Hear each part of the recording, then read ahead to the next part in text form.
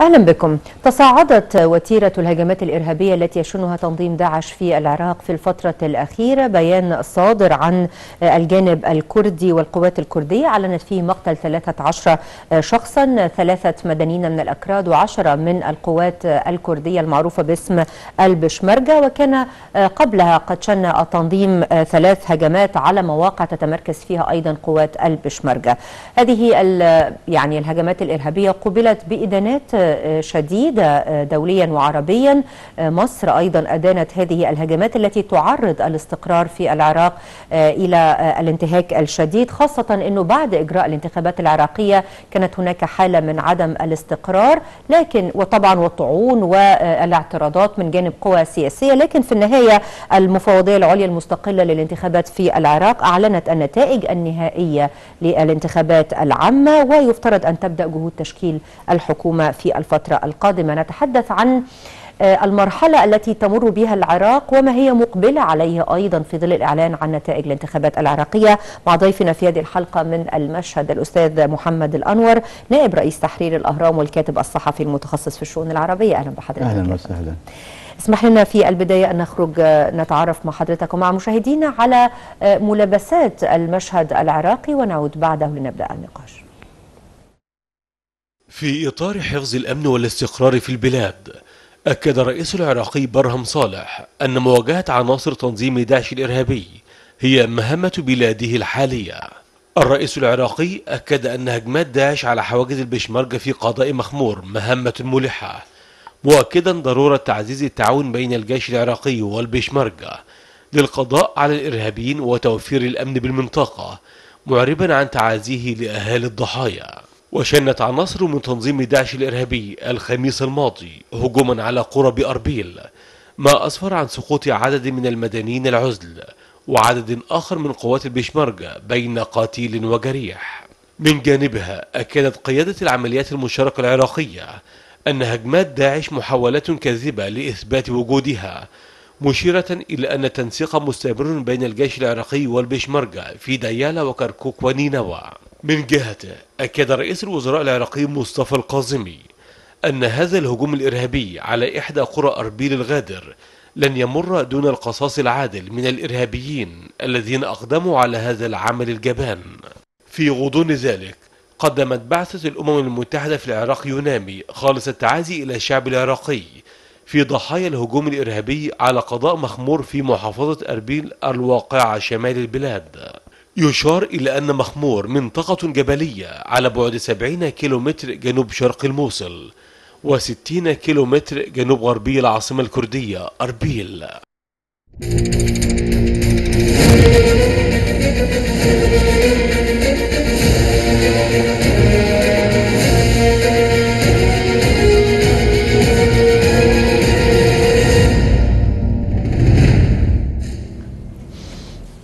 أهلا بكم مرة أخرى. نرحب بك أستاذ محمد مرة أخرى. داعش يعاود هجماته بشكل مكثف في العراق. لماذا الآن وما علاقة ذلك بالمشهد الانتخابي العراقي؟ بداية لابد أن أني الدكتور هاني رسلان الخبير الشؤون الأفريقية ومستشار مركز الأهرام للدراسات السياسية الذي كان قام وقيمة ولقي وجه ربه اليوم فأسأل الله له الرحمة وليزويه ومحبيه الصبر والسلوان يعني طبعا بداية الله هو يعني فقدته الأوساط الصحفية طبعا رحمه الله وننعي الفقيد تفضل. الله يسلمك بالنسبة لمسألة التزايد الهجمات الإرهابية في الآونة الأخيرة أولا لابد النظر إلى المسألة في إطار كلي. الساحة العراقية تحديدا لا توجد هياكل هياكل أمنية موحدة إذا تناول الملف الأمني تحديدا لا يوجد هيكل أمني واحد. هناك هياكل أمنية متمثلة في القوات المسلحة العراقية وأجهزة الشرطة إضافة إلى الميليشيات والحشد الشعبي والبشمركة وغيرها. غياب هذا التنسيق فضلا عن الخلافات المتراكمة بين هذه الهياكل وحول مشروعيتها وقانونيتها هو الذي يسمح بوجود أي عناصر ليس داعش فقط ولكن أي عناصر تخترق وتقوم بعمليات سواء كانت عمليات جنائية بهدف جنائي أو بعمليات بهدف تحقيق مكاسب سياسية وإظهار الوضع. الشامل في العراق على أنه في حالة اهتراء تام. آه هذا أيضا انعكاس لحالة التردي السياسي بين الفرقاء السياسيين وعدم وجود رؤية مشتركة وهو الأمر الذي لا انتقل ليس لمسألة طائفية ولكن انتقل داخل البيوتات الواحدة في العراق تحديدا البيت الشيعي البيت الكردي البيت السني. بمعنى أوضح أن الاختلالات هذه الاختلالات ليست وليدة اليوم وليست وليدة مرحلة الانتخابات الحالية ولكنها وليدة عقود طويلة ولم يتم معالجتها بأسس سليمة لأن كل طرف سياسي عندما يتولى السلطة لا ينظر إلى النظرة العامة للدولة العراقية والمؤسسات العراقية ولكن هناك نظرة طائفية. ضيقة لا نقول طائفية لا تعالج الخلل والاختلالات الهيكلية في مؤسسات وبنية الدولة العراقية وهو الأمر الذي يعني كثيرا ومرارا ما حذرت منه القيادة السياسية المصرية بأن الدولة الوطنية والمؤسسات الوطنية هي أساس للاستقرار ليس داخل الدولة ونفسها ولكن أساس للاستقرار للاستقرار الداخلي والإقليمي أيضا. صحيح. حضرتك بتقول إنه آه، ما يحدث الآن هو ليس وليد اللحظة لكنه نتاج لتراكمات من الخلافات بين ال ال يعني التكتلات الرئيسية في الساحة السياسية العراقية. طيب آه، آه، والدليل على ذلك أن معظم آه. القوى السياسية العراقية المتواجدة على الساحة حاليا لديها أذرع ومؤسسات عسكرية ولا تريد الانضمام إلى آه، أطر الشرعية والمشروعية بدمجها في مؤسسات الدولة العراقية وهو طيب، آه. الخلاف الذي تمثل حاليا في آه، في مرحلة ما بعد الانتخابات حاليا.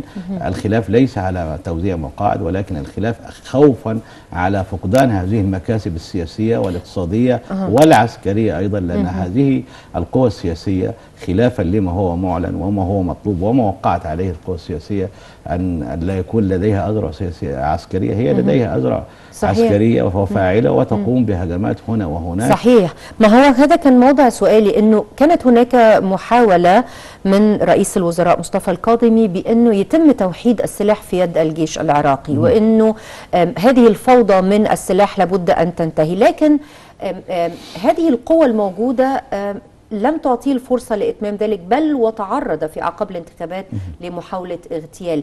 إذا هل يراد للعراق أن تبقى هكذا بوجود آه، جهات مسلحة ودولة داخل الدولة؟ هو هناك إرادة سياسية أو تدخلات خارجية من مصلحتها بالدرجة الأولى هو بقاء الوضع على ما هو عليه في العراق. ليس بقاء الوضع على ما هو عليه بل سيادة سياسة يعني آه، أو تحديدا نهج ما يسمى بتصدير النموذج الإيراني إلى دول المنطقة. وهذا الأمر واضح في العراق وفي سوريا وفي اليمن وفي غيرها من الدول التي نجحت إيران في آه، التوغل والسيطرة عليها. وليس سيطرة وليدة فراغ ولكنها وليدة تخطيط وعقود طويلة من التخطيط والتمويل.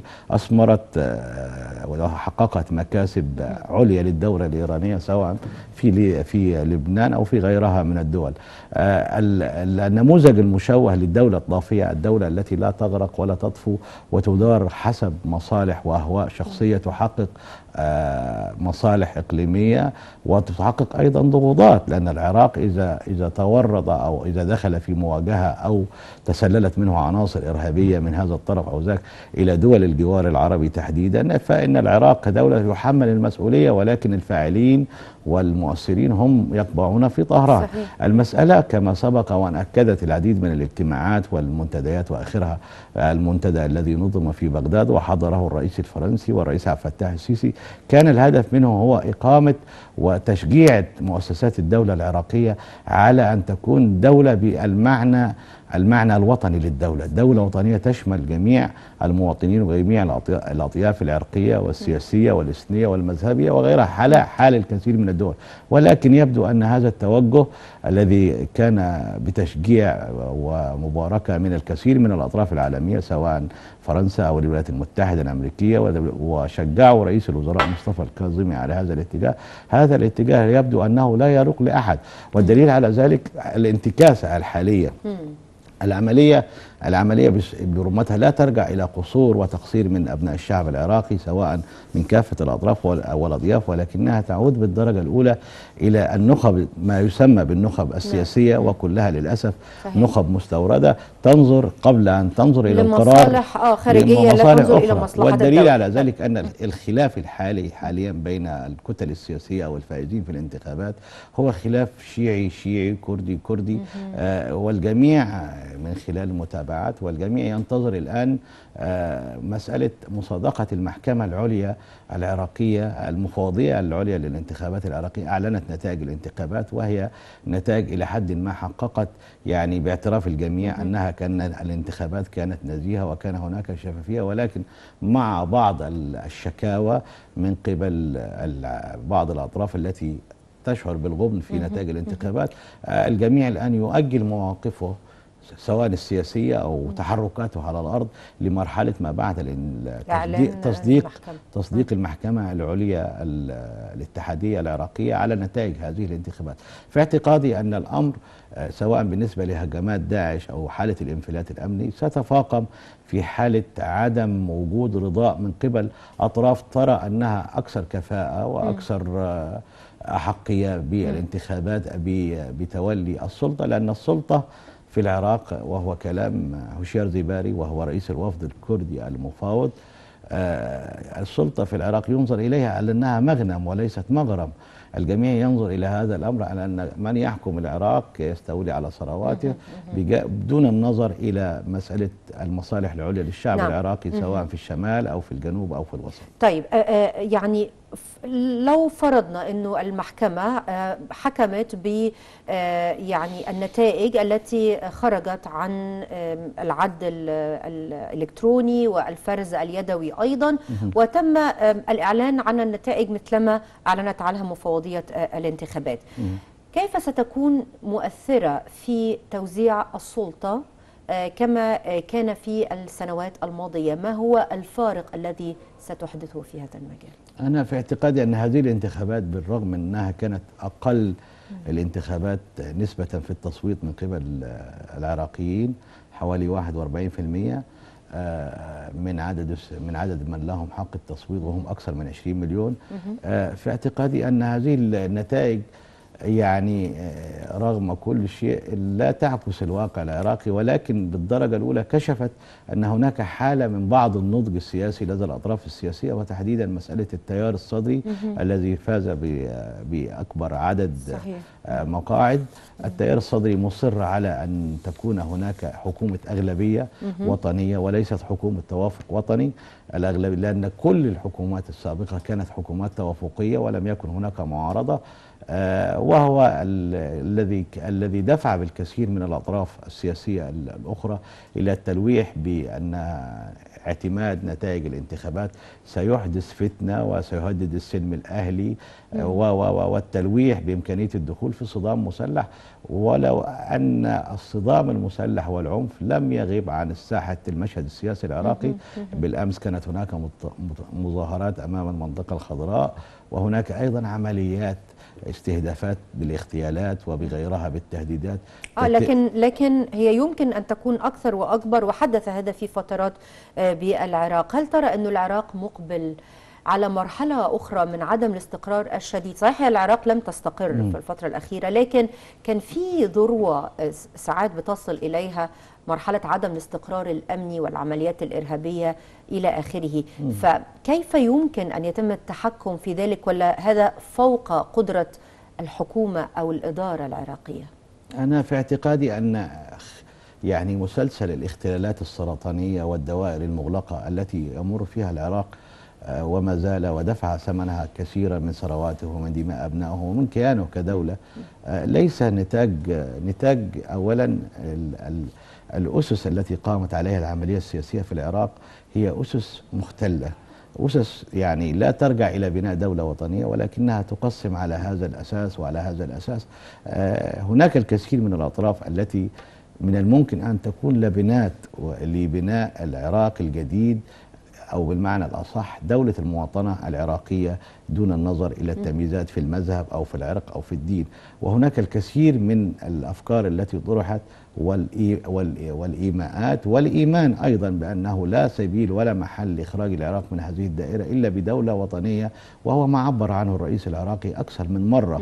الرئيس برهم صالح. ولكن هل تطبيق الأمر على أرض الواقع يتوافق مع مصالح خارجية مع رؤى الأطراف والأطياف التي حققت المليارات من خلال الفساد سواء في السلطة أو في تهريب النفط أو غيرها من العمليات. هذا السؤال لابد من إرادة حاكمة قوية يعني تضغط الجميع وتحكمهم وهذا لن يقوم يعني إلا الا, إلا بتدخلات قوية يهمها بالدرجة الأولى مصلحة العراقيين. وفي اعتقادي أن الأمر لا يعود إلى القادة السياسيين العراقيين الحاليين المتواجدين ولكن يعود إلى إلى إلى إلى الشارع، الشارع عبر عن نفسه في انتفاضة في أكتوبر في غيرها ودفع آه. كثير من الفواتير صحيح لكن هذا الشارع نفسه لم يقبل على الانتخابات التي كان من المفترض أن تغير شكل ال- ال- الساحة السياسية وتوزيع آه، القوى السياسية لم يقبل. حضرتك نفسك قلت أنه 41% صحيح. فقط من الكتلة الانتخابية. هناك الكثير أيضا نحن لا نفقد الأمل ولكن في خضم هذا ال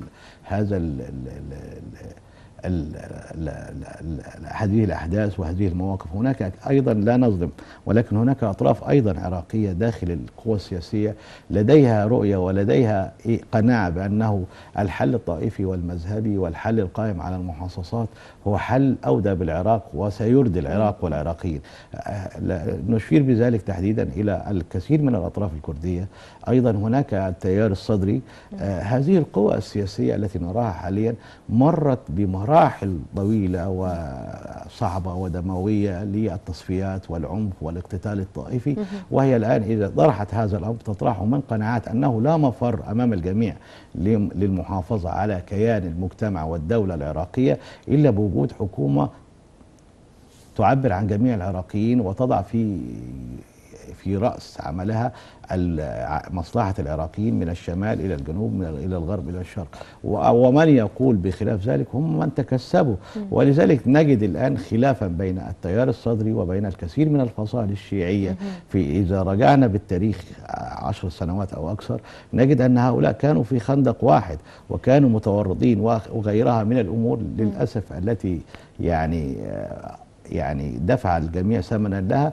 القناعة التي يجب أن تسيطر والتي وصل إليها الجميع أنه لا مستقبل ولا أمان ولا أي ولا أي شيء يتحقق على مستوى المجتمع والدولة العراقية إلا ببناء دولة وفق أسس الدولة وليس وفق أسس نموذج الإيراني أو نموذج الدولة أو نموذج الثورة وخلاف من خلال أولا بداية تشكيل إعادة تشكيل وإعادة بناء الدولة أو مؤسسات الدولة العراقية على أسس وطنية وأولها المؤسسة الأمنية.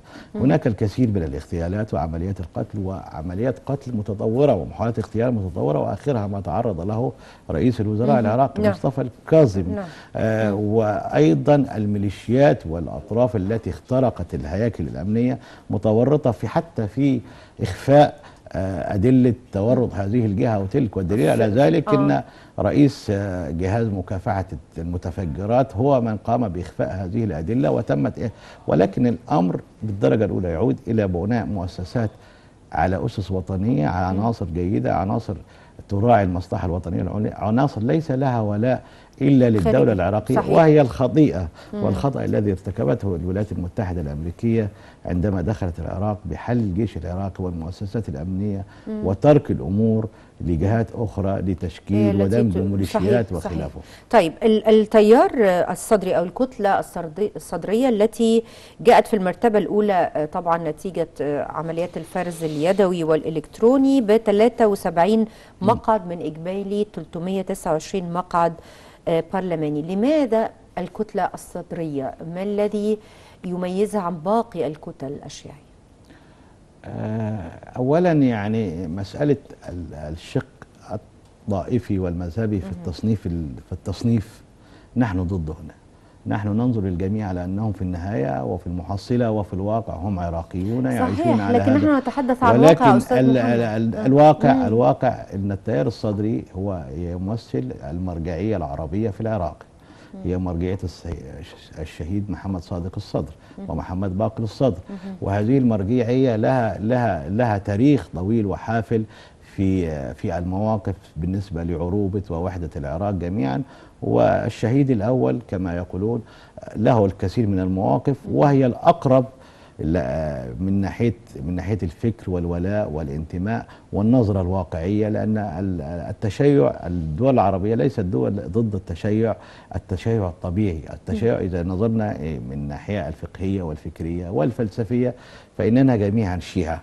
بمعنى أوضح الجميع يحب آل البيت ورسول الله عليه الصلاة والسلام ولكن هناك تشيع مع بولاءات سياسية آه وفي اعتقادي أن التيار الصدري تحديدا والسيد مقتدى الصدر دفع فاتورة باهظة من خلال في مرحلة ما بعد عودته من النجف وهناك الكثير من الصراعات وهو شخصيا أضير منها على المستوى الأسري ونذكر الجميع باغتيال السيد رياض النوري وهو كان رئيسا للمكتب السياسي للتيار الصدري وتم اغتياله في النجف وهو صهر السيد السيد مقتدى الصدر. بمعنى أوضح رغم القواسم المشتركة من الناحية الفكرية في الأسس المعرفية والعلمية للفقه الشيعي وتلقي السيد مقتدى الصدر للكثير من الدروس في إيران وإقامته في إيران إلا أنه لديه قناعة بأن المرجعية هي مرجعية النجف وليست مرجعية قم. فضلا عن ذلك أيضا الواقع الواقع السياسي والواقع المجتمعي يريد الخلاص يريد الخلاص من كافة مظاهر العنف الطائفي والمذهبي والإثني الذي دفع الجميع ثمنا له. ومن هذا المنطلق كانت العديد من المبادرات للسيد مقتدى الصدر وعلى رأسها مسألة حصر السلاح بيد الدولة. صحيح صحيح. آه ويتذكر الجميع أنه في فترة من الفترات التيار الصدري دخل في مواجهة مع حكومة نور المالكي الأولى. وكانت هناك عمليات ضد التيار الصدري واشتباكات وغيرها. الآن التيار الصدري وهو طرح مسألة حصر السلاح بيد الدولة وبدأ بنفسه. بمعنى أوضح أنه يضع الآخرين الذين كانوا محسوبين قديما على التيار الصدري. وضعهم في, في مأزق آه كانوا محسوبين على التيار الصدري آه. ولكنهم انشقوا عنه مم. وبدأوا في ممارسات أخرى. وضعهم أمام خيار وحيد وواحد وهو أنه لا لا لا لا لغة إلا لغة الس- السياسة بعيدا عن لغة السلاح والاغتيالات. والجميع يعني تابع خلال الفترة الماضية سواء في البصرة أو في الفرات الأوسط أو في بغداد أو في غيرها مواقف التيار الصدري والسيد الصدر من عمليات الاغتيال التي تقوم بها جهات معروفة لصالح جهة معروفة ضد الناشطين المدنيين والحقوقيين في البصرة وفي غيرها من المدن العراقية وكان له موقف مدين لهذه العمليات وضدها ولم يشارك. بل إن من ورط أو تورط في بعض أعمال العنف تم تم تم إعلان اسمائهم في قوائم آه يعني كل هذا أعطاه مصداقية. لدى الشعب العراقي طيب كيف كيف إذا إذا شكلت الكتلة الصدرية ال- ال- الحكومة بعد المصادقة على نتائج الانتخابات من جانب المحكمة العراقية كيف سيتمكن أو تتمكن الكتلة الصر- الصدرية بقائدها مقتدى الصدر من فرض هذه الحالة من آه، الوطنية والانتماء للعراق وليس لقوى إقليمية أخرى هل بإمكانه ذلك؟ وهو يعني آخر مواقف السيد الصدر آه، قال أو اعلن أنها لا شرقية ولا غربية على يقصد الحكومة العراقية بشرقية بالنسبة لإيران ولا غربية بالنسبة بالنسبة للولايات المتحدة. المتحدة. آه هذا كلام نظري ولكن على أرض الواقع علينا ان أن نرى الشق الآخر من الخريطة فهم لديهم أدوات مالية وعسكرية واقتصادية ولديهم أساليب عنيفة مجربة ضد الجميع. الآن في قديما قبل أكثر من عشر سنوات كان العنف يمارس على أساس طائفي أن هذا شيعي وهذا سني وهذا عربي وهذا كردي. الآن الأمور باتت واضحة وسبق وأن ذكرناه وأكدناه مرارا أن الصراع في العراق ليس صراع مذهبي أو طائفي ولكن صراع على مصالح وعلى مكاسب سياسية لأطراف داخلية لديها امتدادات خارجية زرعت وغرست داخل العراق لتحقيق آه، مكاسب لهذه الدولة أو تلك. آه، في اعتقادي أن السيد الصدر إذا تم التحالف مع أطراف أخرى سواء في من العرب السنة أو آه، من التحالف الكردستاني من الممكن أن يشكل حكومة ما يراه هو أنها حكومة أغلبية وطنية وليس حكومة توافق. هو ينظر إلى الأغلبية من ناحية أن, أن من يقبل بنزع السلاح وتسليم السلاح لدى الدولة لتكون هي المسيطرة. أو دمجه في الحشد الشعبي في مرحلة تسبق دمج الحشد الشعبي أيضا في مؤسسة الدولة. نعم. وهو أمر ليس بالسهل ولكنه صعب ولكن من الممكن تحقيقه إذا نجح التيار الصدري ونجحت القوى المتحالفة معه سواء آه، الاتحاد الوطني الكردستاني والحزب الديمقراطي وغيرها من الأطياف الأخرى التي تؤمن بأن العراق يجب أن يخرج من هذه الدائره من الممكن ساعتها أن تفرض إرادة بعد حل الكثير من المسائل الخلافية لأن هذا الطرف لديه مسائل خلافية تتعلق تم الاتفاق عليها دستوريا وأنا أقصد تحديدا الكرد. الكرد الذين الآن هم يعني يقال ويعلن أن داعش قامت بعمليات في مخمور وفي غيرها وهي المناطق التي كان يسمى أو كانت تذك- تذكر أنها مناطق متنازع عليها بين العرب والأكراد. إذا تم التوافق على رؤية معينة لننسى مسألة هذه المناطق الم- المتنازع عليها ولنوجد آلية وصيغة للتعاون على الأرض من منطلق دولة المواطنة وليست الدولة الكردية كما قال تقريركم لأن الجميع يعرف أن مسألة الدولة الكردية يعني مسألة تفتت العراق. لا لا تفتت العراق فقط لا تسمح بها الأطراف الإقليمية الأخرى سواء إيران أو تركيا أو غيرها من الدول. والأكراد يعني أنا قلتها وأعيد تكرارها أن الأكراد من الممكن أن يكونوا هم المؤسس لبناء العراق الجديد في المرحلة المقبلة من خلاف تحالفاتهم هم كانوا يعني في الفترة السابقة في الحكومات السابقة هم كانوا رمانة الميزان. إذا مالوا مع هذا الطرف فهو الذي يشكل الحكومة وإذا مالوا مع ذاك الطرف فهو يخرج ضد ذ- فهو يخرج. ولكن للأسف يعني بكل أسف لم يتم توظيف هذا الأمر لتحقيق مصلحة عليا للعراق بكل أسف. ولكن الأمر يعني وهو ما طرحه الرئيس برهم صالح كما سبق وأن ذكرت الأمر الآن اتضح. أنا في اعتقادي أن القوى الحقيقية الفاعلة والمؤثرة التي من الممكن أن تضع أسس لبناء دولة عراقية جديدة وحديثة على أسس المواطنة هي تقوم على المكون أو العنصر الكردي بالدرجة الأولى و غيره من الأطياف الأخرى التي تؤمن بضرورة وجود دولة دولة لا شرقية ولا غربية دولة عراقية. وطنية. دولة تكون جسرا لل- للتعاون والترابط دون أي تدخل من أطراف أخرى. آه حول هذه النقطة لأنه مصطفى الكاظمي كان حقق نجاحات في هذا المجال. يعني آه الاتفاقيات التعاون والشراكة آه التي تضم مصر والعراق والأردن اتفاقية دول الجوار الأخرى التي آه عقدها في العاصمة بغداد. هذا التوجه يحتاج إلى من يكمله وإلى من يؤمن بضرورة عودة العراق إلى الحاضنة العربية وألا تكون يعني تماما إيران هي المتحكمة فيها. فهل نتأمل ذلك من الحكومة القادمة أو في الفترة القادمة؟ أولا مسألة يعني مسألة عودة العراق إلى الحاضنة العربية. العراق العراق دولة هي دولة يعني من الدول العربية التليدة. ثقافة وفكرا صحيح وبناء. صحيح. يعني مسألة لا نتحدث هو عن قيمة نعم، العراق ولكن نعم، هي لفترة انشغلت بأمورها وكان هذا انشغلت حقها طبعا بناء عن- مرحلة بناء- غير بناء- طبيعية من بناء, الاستقرار. بناء عن أجندات خارجية.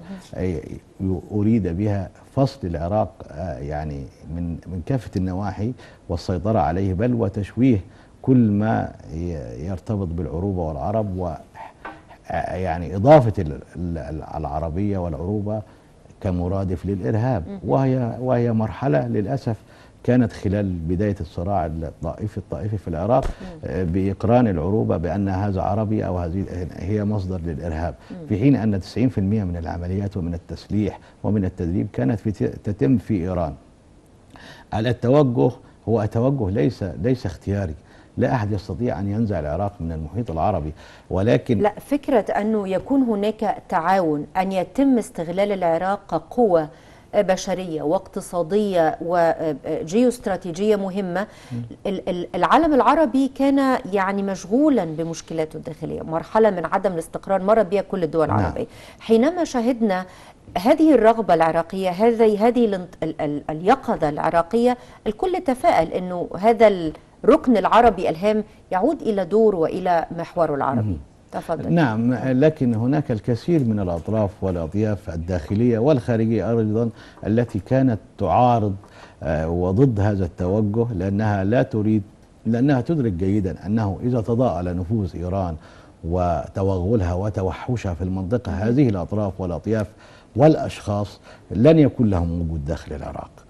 هم الآن عندما يعارضوا هذا التوجه بأي أساليب سواء كانت أساليب عسكرية أو خلافه وهم ليس لديهم إلا العمل العسكري والاغتيالات وهو مجرد. هم يدافعون عما يرونه أنهم مصالحها الذاتية ولكن مصلحة العراق العليا كما سبق وأن ذكرنا إذا حدث تحالف وطني آه، يعني مسألة أغلبية وطنية مع هذا التوجه فإنها ستعاني في البداية ولكنها إذا قدمت جزء بسيط من التضحيات وأعتقد أن بلدهم ووطنهم يستحق هذا الأمر ستنجح في النهاية في كشف الأمر للشارع. والشارع عندما يلمس التغير يلمس ويحس, ويحس بالتغير على مستوى المعيشة وعلى المستوى الاقتصادي وعلى مستوى الأمن وعلى مستوى الجدية في معاقبة كل فاسد وكل من ارتكب جرائم ضد العراقيين أيا كانوا بالضرورة سيدعم هذه الحكومة صحيح.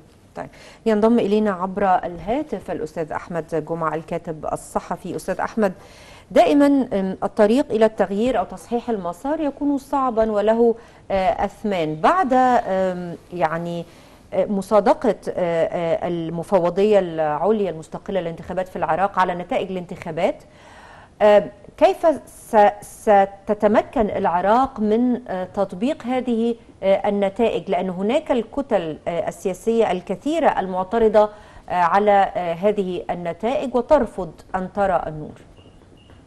نعم يعني بعد التحية لحضرتك وضيفك. الكريم بالتأكيد الصراع السياسي وتحديدا الصراع الشيعي الشيعي على أشده خلال الأسابيع الماضية عقب إعلان مفوضية الانتخابات المستقلة في العراق للنتائج. بتصدر التيار الصدري لهذه النتائج يعني رفضت تيارات أخرى وكتل آه، تحديدا كتل شيعية كانت تعول على الحصول على أصوات أكبر ومقاعد أكبر في البرلمان العراقي ليكون لها الحصة الأكبر أو يكون لها نصيب الأسد في تشكيل الحكومة العراقية بإسناد تشكيل آه، الحكومة لشخصية موالية لهذا هذه الكتلة أو التلك لكن حالة الاستق... حالة عدم الاستقرار السياسي في العراق للأسف أخرت هذا الأمر.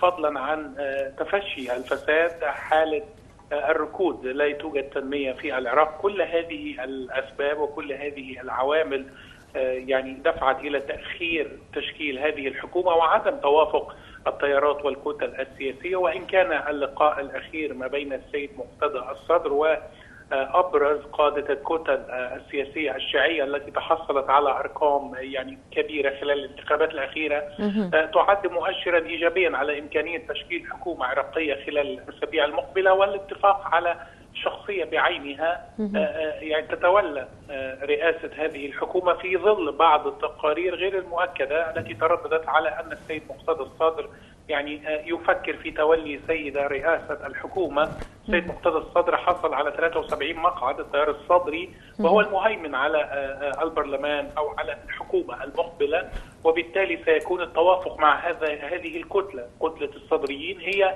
الأهم خلال الفترة المقبلة وتتطلع كتل سياسية عراقية ومنها كتلة دولة القانون على سبيل المثال برئاسة نوري المالكي. تتطلع هذه الكتلة إلى أن يتم إسناد تشكيلة التشكيلة الحكومية المستقبلية. إلى السيد نوري المالكي نفسه أو إلى شخصية تؤيده مؤيدة من كتلة دولة القانون لكن هذه التفاهمات حتى الآن لم تفضي إلى أي جديد وبالمناسبة حالة عدم الاستقرار السياسي في العراق تؤثر بشكل كبير على الوضع الأمني وعودة خلايا صغيرة من تنظيم داعش الإرهابي لاستهداف تمركزات أمنية للقوات العراقية نعم. حوالي 6000 إرهابي ومسلح وفق تقرير نشرته البنتاغون والاستخبارات العراقية يتواجدون في العراق وسوريا ويمكن أن يؤدوا إلى حالة عدم الاستقرار وتتجمع هذه الخلايا الصغيرة مجددا لتشكل كيان جديد. آه يعني يعني هل هذه رسالة تحذير بأنه ما يجري أو نتائج الانتخابات أو إذا تغيرت الأمور وتوزيع القوى السياسية عما كان معتادا هذا إنذار أو تلويح بالفوضى وعدم الاستقرار وعودة العمليات الإرهابية المكثفة مرة أخرى.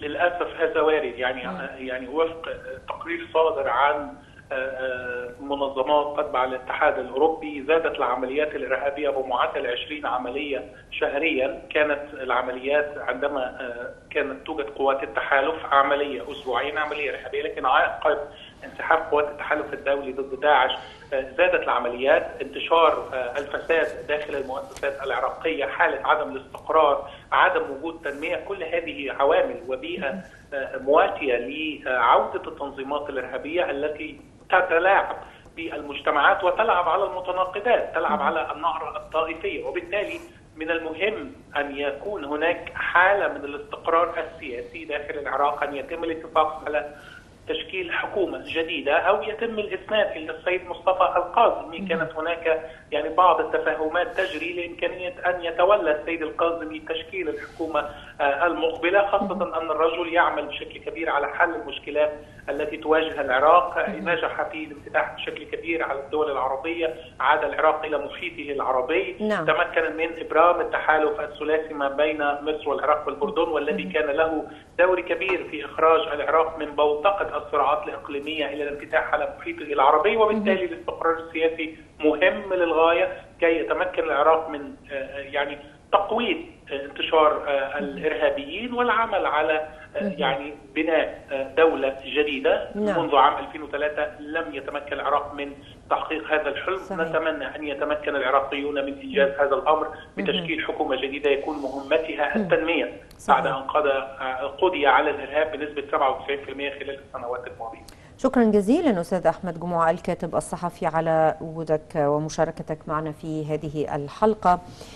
أستاذ محمد داعش يعني أو التنظيمات الإرهابية في العراق وفي غيرها من الدول هل الوجود الأمريكي ووجود قوى غربية ويعني الإعلان عن حملات لتطهير العراق وسوريا من تنظيم داعش وكل هذا وتبقى داعش إذا يعني أنه بالتأكيد وبالمنطق وهذا معروفا أنه يراد لها أن تبقى لتحقيق أهداف معينة. يراد لها أن تكون شماعة لتحقيق أهداف دول إقليمية معينة. التنظيم ليس تنظيم بالصورة الأسطورية المتخيلة كما يروج له البعض.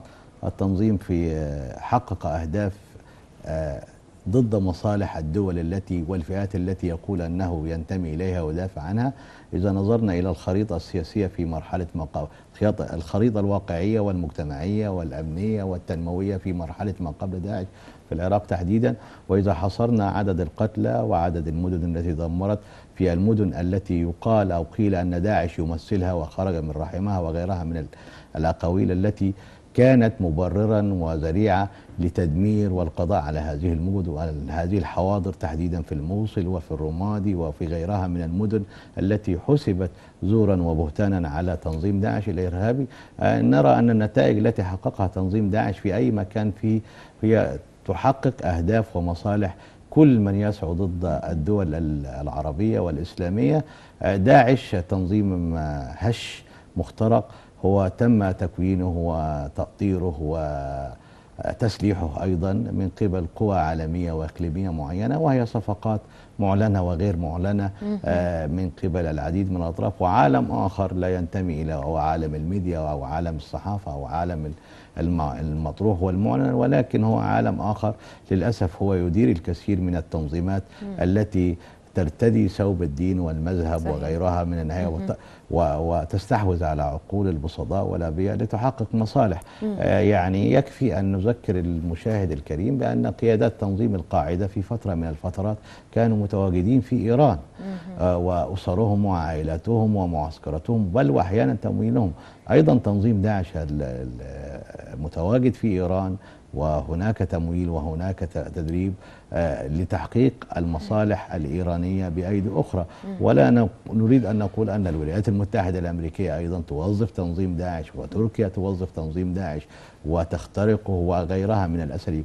المحصلة أن العراقيين وأي متابع دقيق لما يحدث يقتنع بأن هذه التنظيمات ليس لها هدف إلا القضاء على المجتمعات والدول التي تظهر فيها وتخرج منها. والدليل يعني يعني حتى نكون منطقيين لنعود إلى الوراء قليلا يبان مرحلة فترة الإخوان في مصر تحديدا. آه يعني الجنرال القاسمي سليماني زار القاهرة. وهناك علاقات كانت. المساله ليست مسألة كما يروج لها البعض بأنه حريص على الديانة أو المذهب أو الطائفة ولكنها في النهاية تحقق مصالح. نحن نتعامل مع حالة للأسف بكل أسف تحولت فيه المنطقة العربية إلى ساحات للصراع وللاستنزاف من قبل الكثير من الأطراف الإقليمية والدولية وبمساعدة للأسف أيضا أطراف داخلية بوعي أو بدون وعي على حساب أمن ومستقبل هذه المنطقة. صحيح. بشكر حضرتك شكرا جزيلا أستاذ محمد الأنور نائب رئيس تحرير الأهرام والكاتب الصحفي المتخصص في الشؤون العربية. على وجودك معنا في هذه الحلقة. أشكرك. شكرا, شكرا جزيلا. أشكركم أيضا مشاهدينا على متابعتنا في حلقة اليوم من المشهد. إلى اللقاء.